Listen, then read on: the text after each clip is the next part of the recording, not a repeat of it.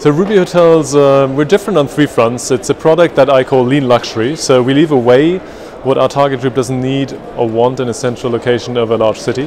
Uh, it's uh, therefore one that is affordable, leaving away, in this case, uh, particularly some space in the rooms. We maintain sensor space, ambience, um, and all the amenities in the room at a luxury level. The second thing is we operate differently. We centralize and we automate to the extent that we can halve our personnel costs. And the third is we build and plan our hotels in a way that uh, allows us to get to twice the space efficiency of uh, a conventional hotel uh, of our price point.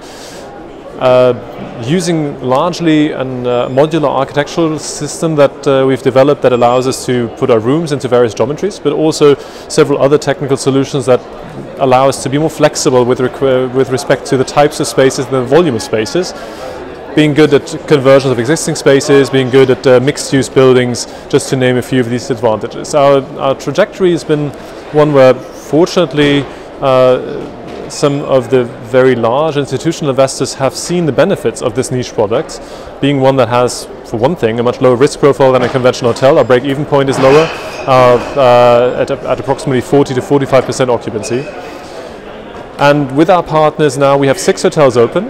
Austria, namely Vienna, uh, in Munich, in uh, Düsseldorf and in Hamburg in Germany. Our pipeline uh, is an additional 13 hotels, uh, which are across the main German cities, uh, Cologne, uh, more in Düsseldorf, but also more in Munich, two in Frank Cologne, sorry, one in Frankfurt coming, and even outside of Germany now, uh, we have a project in Zurich, one in Geneva, and two in London, one in Helsinki coming. So that's uh, where we, we're currently working on. We would be very happy to extend our footprint in the other major cities of Western, Southern, Northern Europe. Uh, our focus is, because lean luxury for our target group means a very central location, uh, the urban cores of these cities.